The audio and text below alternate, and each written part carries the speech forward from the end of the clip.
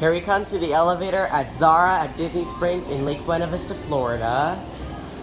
And this is a Schindler HT.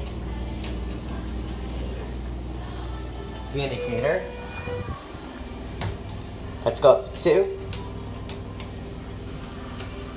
Door close button does not work on Schindler's as always. It's the indicator. Bossy 2,500 pounds, no smoking, certificate of operation, home, alarm, firehouse operation. Also, this elevator looks very similar to the one at the Florida Mall. Here we are at 2.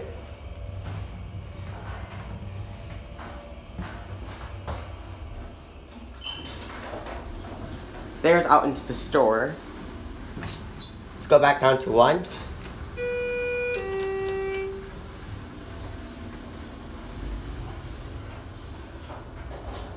Or close button doesn't work.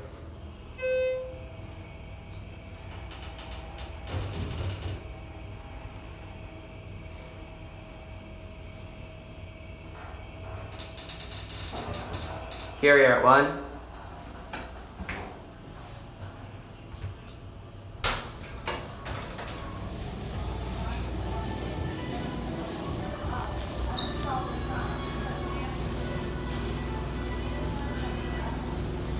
There it goes, and that's it.